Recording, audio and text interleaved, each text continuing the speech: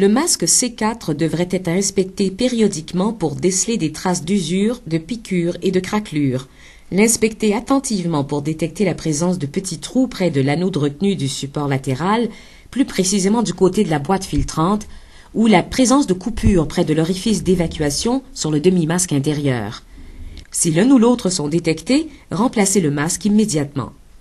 S'assurer que la base du demi-masque intérieur est bien fixée sous la semelle de l'orifice d'évacuation et que les pattes de fixation du serre-tête ne sont pas déchirées, surtout sous les boucles.